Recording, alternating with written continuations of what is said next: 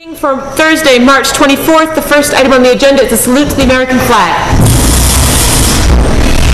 I pledge allegiance to the flag of the United States of America and to the republic for which it stands, one nation, under God, indivisible, with liberty and justice for all. Thank you. I make a motion, we change the agenda to remove items one and two. I second. Any discussion? All in favor? Aye. Excellent. I make a motion, we approve the minutes of the last meeting. Uh, second. Any discussion? All in favor? All right, having no old business, we... Oh, At our last meeting, uh, Mr. Long had brought up a question about the uh, school warrants, and there are gonna be two school warrants that are gonna go on the um, town meeting for uh, replacement of the um, uh, intercom system for the school at a price of twenty-five thousand dollars, and another warrant article for um, repair to the roof on the gym uh, for twenty-five thousand dollars. Uh, That has happened since the last meeting, and I just wanted to correct that those two warrant articles will be uh, going forward on the June floor. is it? Yep. Okay. Moving on to new business. Our first item on the agenda is Mr. Jack Kelly.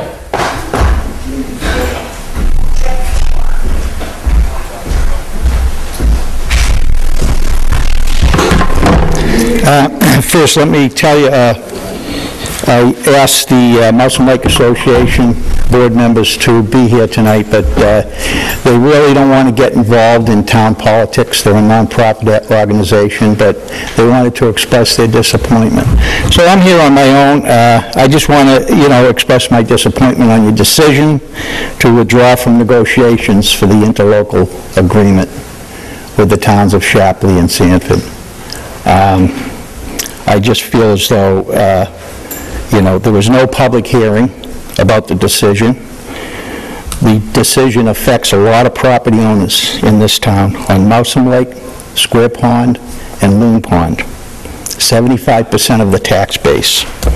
You have a vested interest in what happens with that dam, and also the Square Pond Dam. You- Now, we won't have a- any voice in water levels or maintenance. And the maintenance, the total cost of maintenance a year is $10,000. Shapleigh just voted at their town meeting, $3,000 for maintenance, and they're also putting it, $10,000 a year into a rainy day fund. Um, I just feel as though this was a poor decision, and I've attended all the meetings since, and if I didn't attend those meetings, I'll read it in the paper, there was no public announcement or anything. And we, we actually, the Article 27 last year was amended, that you were going to go there and negotiate an agreement for consideration or approval by the town meeting. That has been done. You just decided on your own to just drop negotiations. The other thing is, you mentioned a figure of an increase of 13 cents in the tax rate, and both uh, Shapleigh Selectmen disputed that amount. So, uh, that's, I mean, I just don't understand how you can, you know, a couple of people can decide an important issue like this. It affects a lot of property, and 75% of your tax base. I mean, I- I'm asking, you know, like, you know, to reconsider your decision, or at least let the people of the town have a decision in this, put an article before town meeting, if they decide they don't want to pursue it, but I don't think it's right that three individuals make a decision like this. Okay. Bill, do you wish to comment on this? The decision was made based on what we felt was best for the town of Acton. Uh, There was complete uh, intransigence, uh, the refusal on the part of Sanford to negotiate a lower uh, or a different split. Uh, The request that uh, we made, or the town made, was that uh, Sanford pick up 50% of the cost, Shapleigh 25, and Acton 25. Sanford absolutely rejected this. Uh, Offered no possible uh, indicated no possible compromise. So in our opinion, this would not pass the town meeting. The town would not come up with this kind of money, so the uh, decision was made to tell them we were withdrawing from the discussion.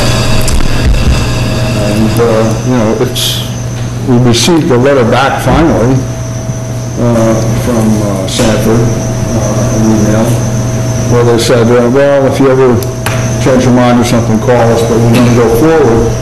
And they're going forward spending more money than, the- you know, than what we were asking them to give up. Well, go ahead. In, in the, uh, you know, in the uh, split up of the, uh, the capital costs.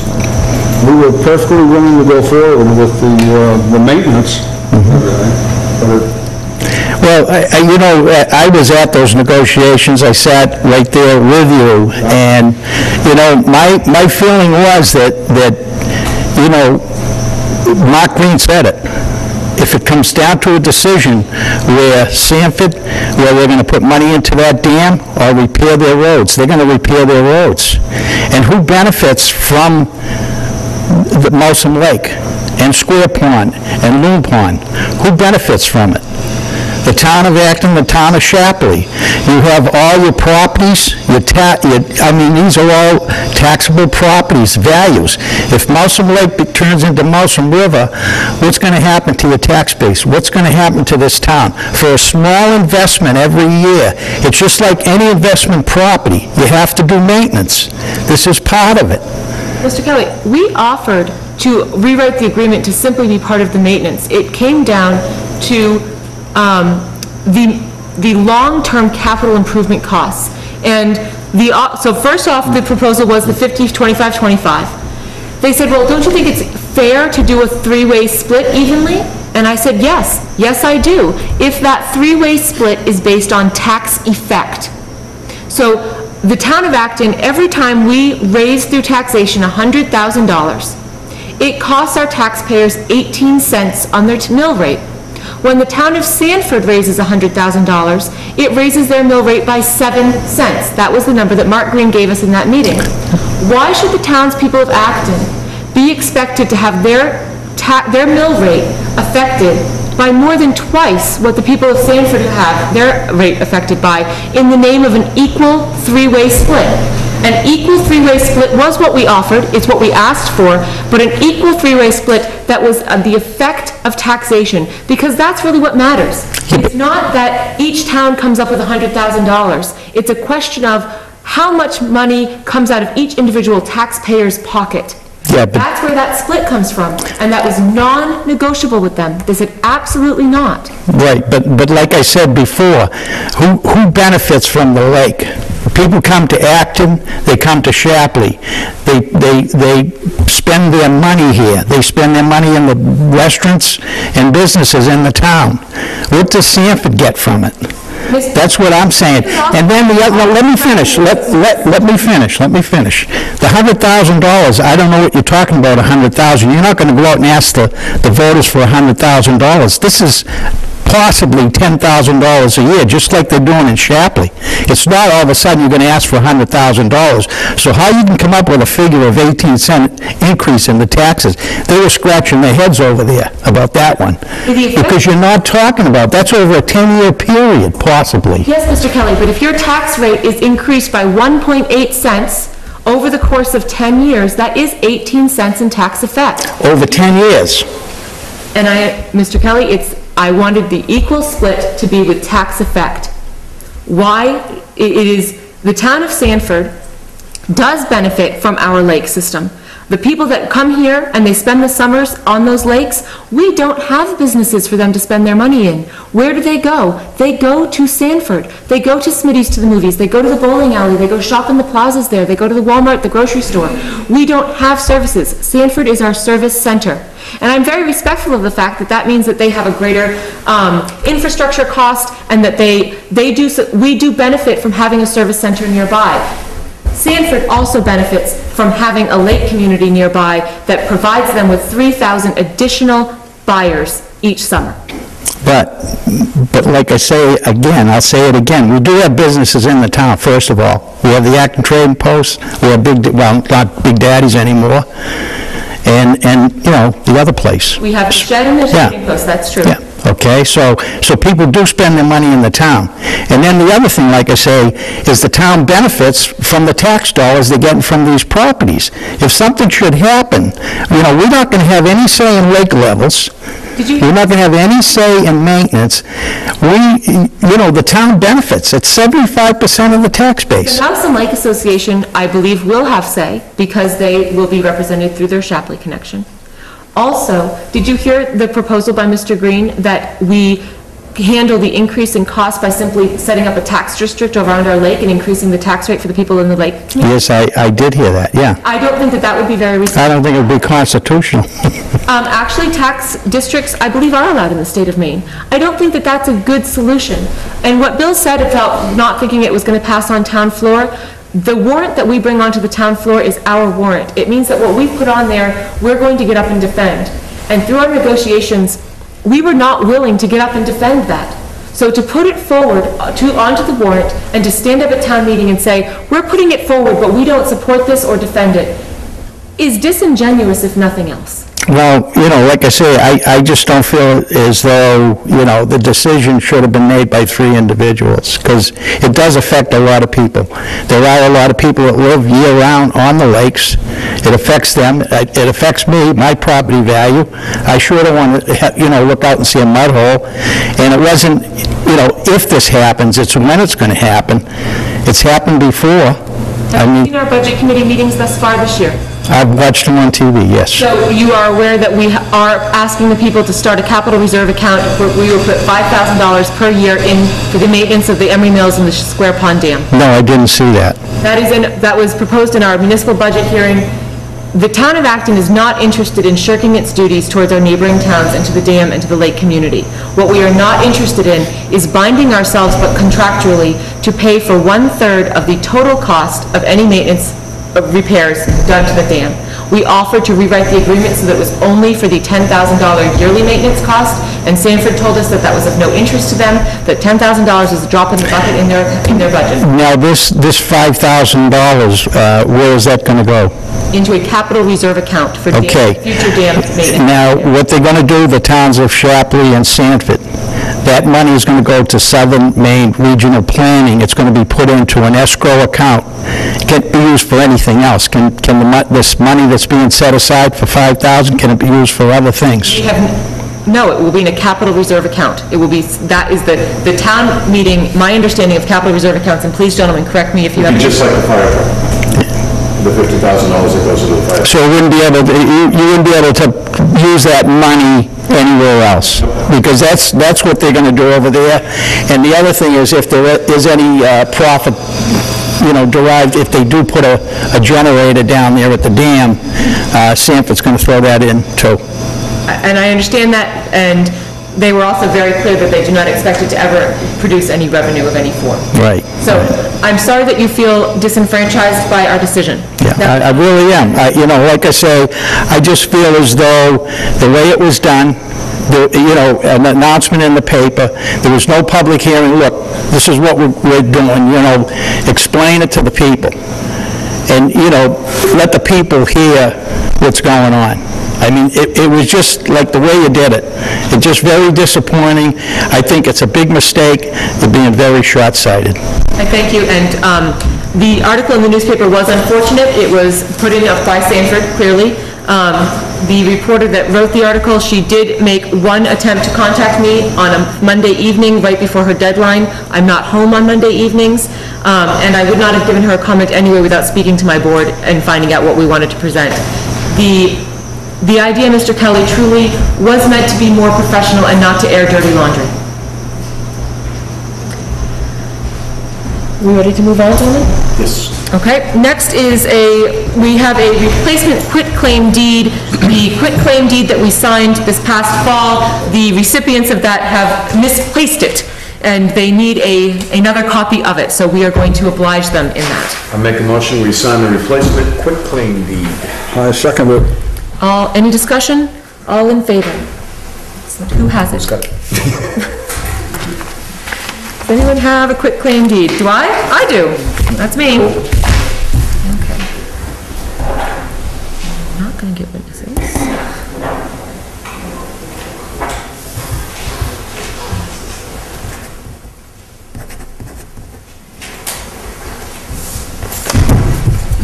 Somebody want to come up and be a witness? No, I don't think so. Oh, no. But we went through this last time. What, what did we do wrong last time? Lorraine said. You had me witness it, along with two other people. Then, and I can we get a witness? Only one? Nancy? One person. Come on up. Witness Just sign all three three of times. us. and- Yeah, that each one of us signed in front of you. Right. I can be taught.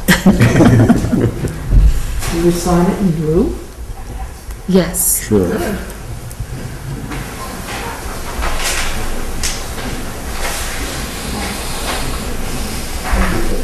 Uh, the thing, I'm sorry, I forgot to tell you, because I told Dennis we would not make those ones for it two weeks ago, that, you know, because the plan at that time was to be on the school budget, so that's why we would correct that. Yeah, of course. Um, final item this evening is we have the signing of the school warrant.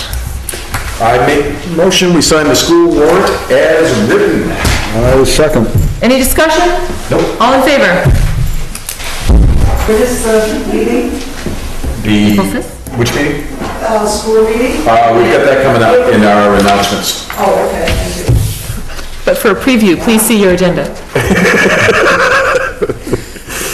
It's been a long day for us. Yes, it's been a long week. We're gonna hit 25 hours easy this week.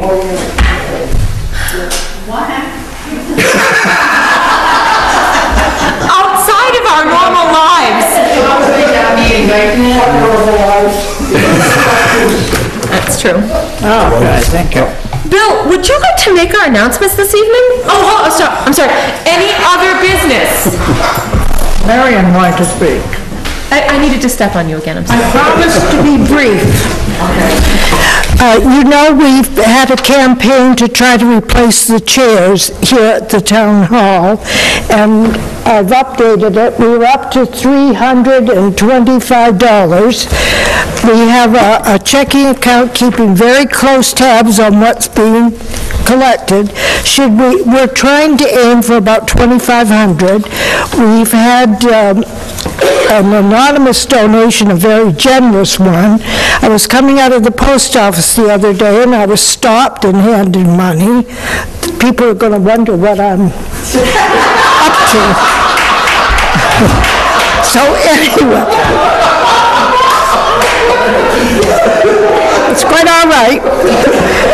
Um, We're going to be able to set up at the Lions Club breakfast and see if we can get donations there. I should wear a sign, right? I, I think, I don't think anybody will misinterpret. But anyway, we have been very successful, and I'm surprised at the, at the results. But I was at a luncheon the other day, it was a nice one, and two ladies mentioned how cold those seats were. And I said, well, we're working on it. So, anyway, and as Barbara's told you, I've said your brain can only absorb what your rear end can stand.